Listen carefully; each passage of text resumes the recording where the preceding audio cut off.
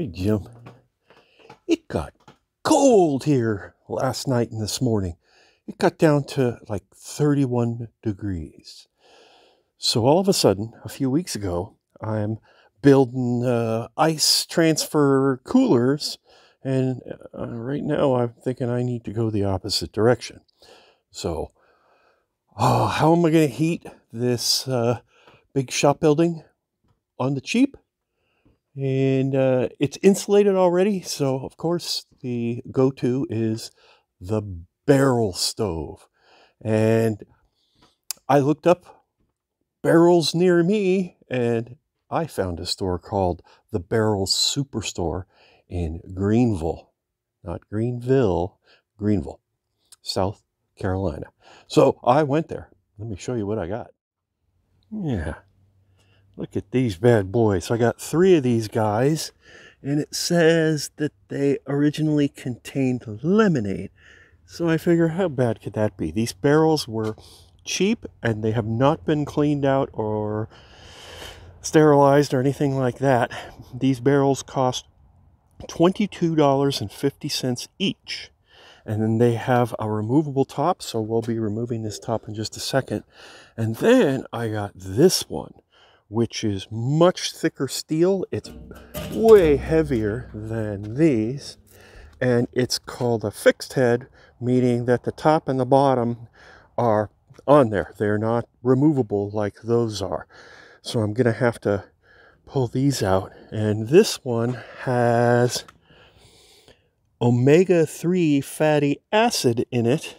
And I looked that up, and it's actually a food supplement. It's a, a, a good thing. It's like uh, there's a lot of omega 3 fatty acid in salmon. So, but I don't know if you can hear that, but it's still slopping around in there. So I'm going to have to empty that out too. But first off, let's crack these three open and see what they look like inside.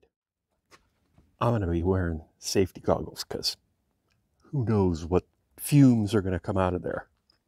Probably just lemonade, but I'd rather be safe than sorry.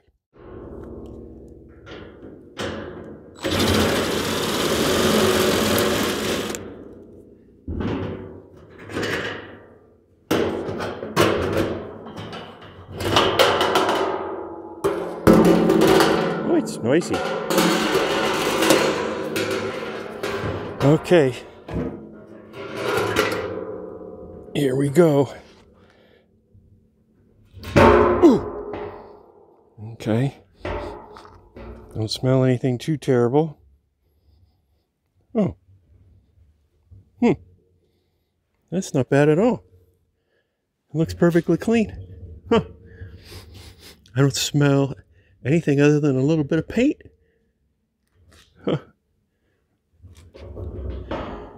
Maybe it was uh Oh, I don't know.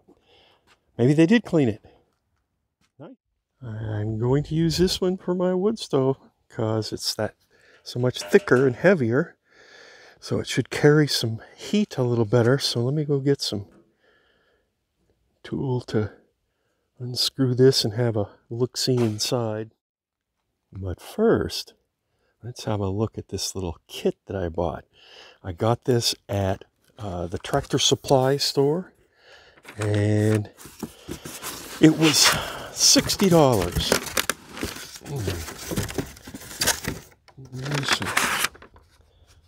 instructions that looked very thorough, and there's our front plate. Huh. Okay. Nice.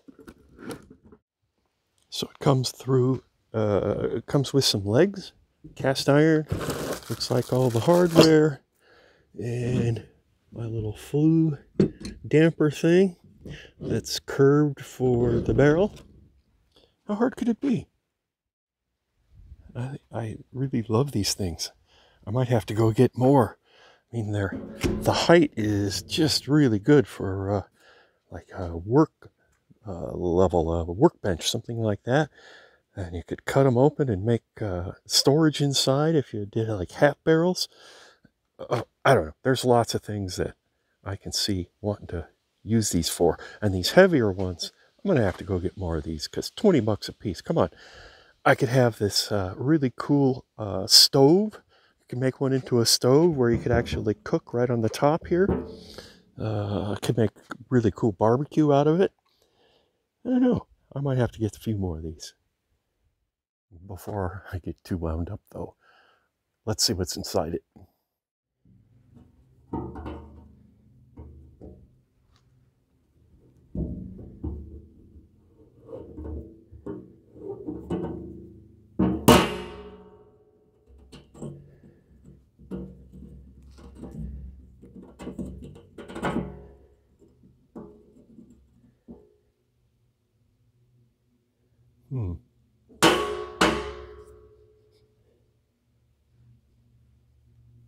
Okay.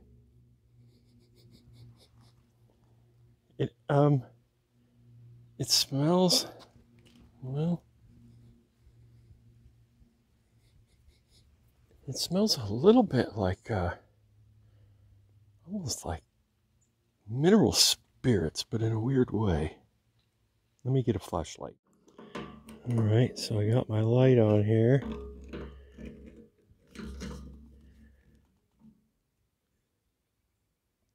Yeah, not focusing, is it? There we go. Okay, it's uh looks a little definitely got liquid at the bottom. Not much though. Uh, all right, so I'm gonna pour this out and uh, We'll check it out when it's out.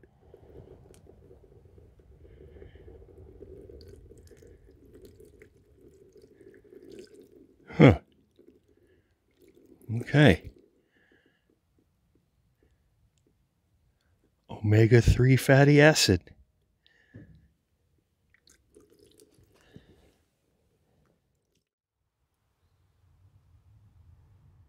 Pure omega 3 fatty acid uses.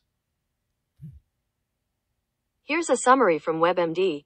Findings show omega 3 fatty acids may help to lower blood pressure, reduce triglycerides, slow the development of plaque in the arteries, reduce the chance of abnormal heart rhythm, reduce the likelihood of heart attack and stroke, and more. So it certainly doesn't sound like it's toxic in any way.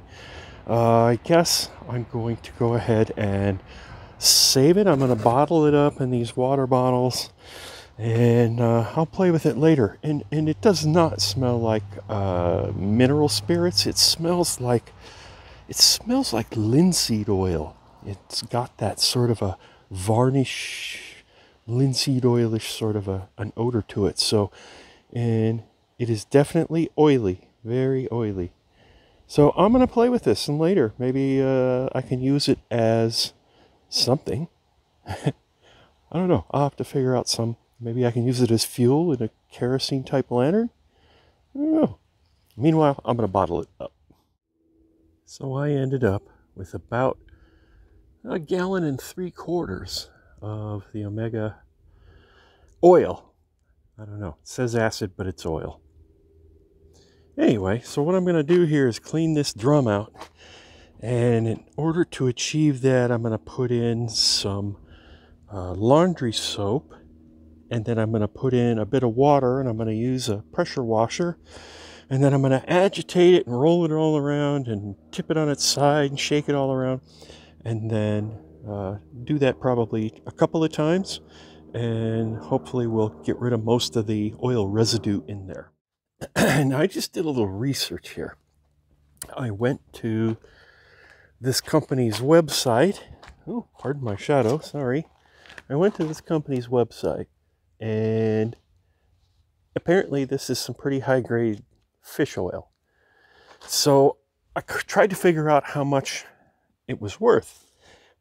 And what I figured out is with vast amounts of research on the internet, that barrel weighs about 190, or, or it contained 190 kilograms of that fish oil. And it sold for $6,000, just a little more than $6,000. The average price per kilogram is about $32. So a gallon of the fish oil, let's see here, make sure I got my numbers right. A gallon weighs three and a half kilograms. So my one and three quarter kilograms is, or uh, one and three quarter gallons weighs six uh, and an eighth kilogram. And at $32 per kilogram, that means I have $196 worth of fish oil out of a barrel I paid $20 for, assuming my math is correct. now I just got to figure out what it's good to use it for. I don't think I'm going to chance uh, ever using it for any sort of food products, but we'll have to see. Like I said, I'll play with it more later. I marked my little center point here, and then I also marked it right here. And that way I was able to locate the door on here. And you can see I marked the edge. It's kind of, there we go. You can see now. I have marked the edge very lightly with a Sharpie. And now I'm going to go get my angle grinder and I'm going to cut the opening for the door. I'm not sure why, but I drilled a few vent holes before I start cutting. The bung uh, plug is out of this, so I've cleaned it real good. There really shouldn't be any uh, hazard of any sort of fire or anything like that while I'm cutting. Well, there we have it. That wasn't too hard, as long as you're using your safety goggles and your uh, earmuffs, because it's loud. I cleaned up the edge a little bit. You can see the inside of this thing. It's it's got uh, a little bit of grinding stuff stuck where there were water droplets, but otherwise it's clean. I mean, there's no trace of any oil residue at all on the inside. So that uh, rinse out worked pretty good. And looks like I'm going to have to do it again because all that grinding debris down in the bottom is uh, a little rough. But let's test fit the door. Okay, we got the door pretty much right where it's supposed to go. I might trim just a little bit more. I don't want to see any of the barrel steel sticking through at the edges. And then our vent here, it's all clear. Seems like an awfully small vent, but that's all right. I, I'm imagining at some point I am going to uh, have this thing draw the air into itself from outside my building. And that way it's not pulling my heated air into itself and then up the chimney. It's pulling cold air from outside into itself to make the fire go. And then all I get from it uh, is the heat, and I don't lose heat going up the chimney. I think. I think that's how that'll work. So next I have to find my center point on the bottom down there and I have to fit my damper assembly here. So I'm going to have to cut a hole for that. It's coming along. You can see here that I've got that part cut.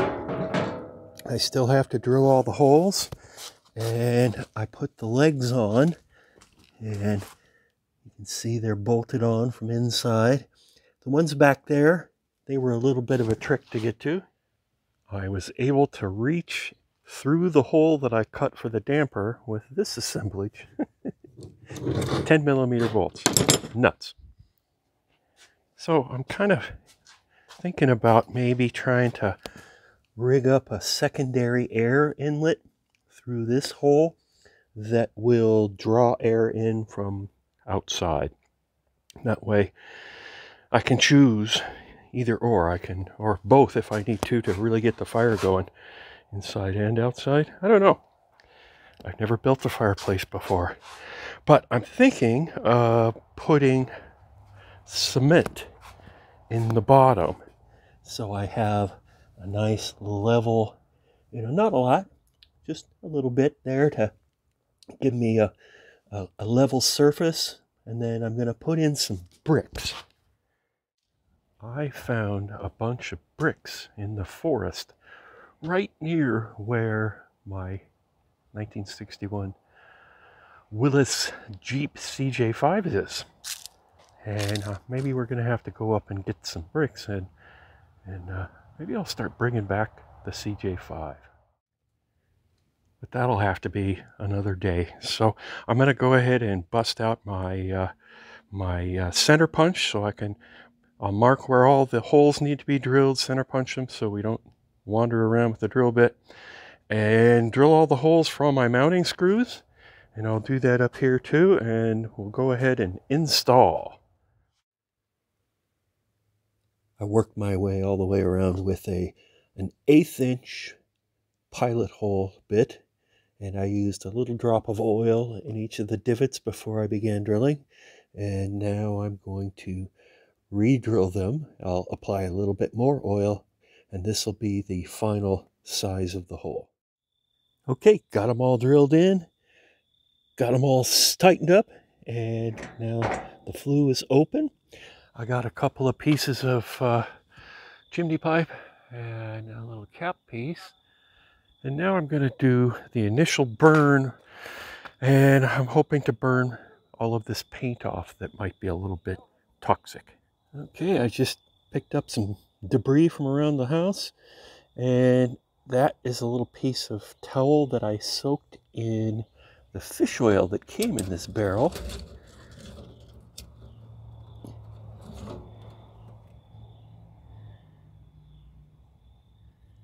Oh. Okay, we're officially lit.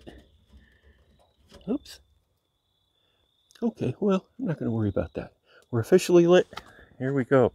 Stand back, look out for toxic vapors. All right. There we go. Wonder how long it'll take to burn off the paint. Probably a long time.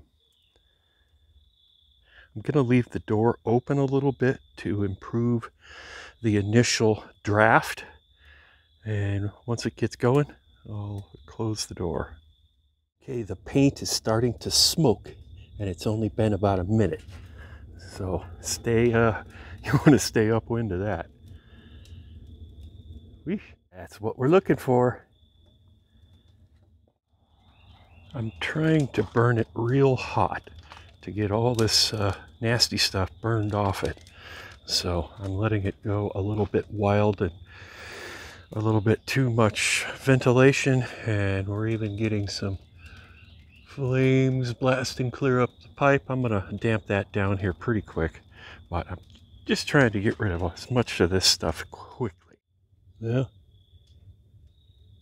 the little labels on the side just burst into flames. Okay, homemade wood stove. So 20 bucks in the barrel, 60 bucks in the uh, stove kit.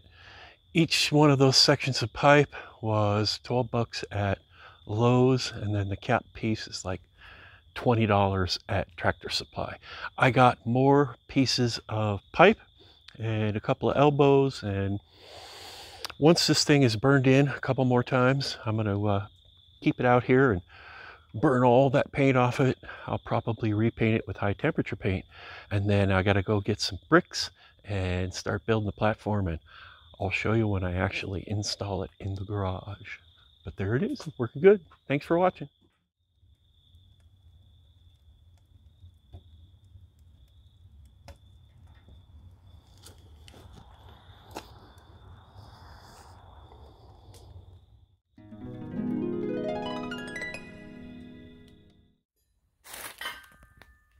Seems to be burning perfectly.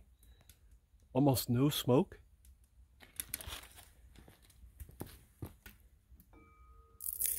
Water is almost boiling.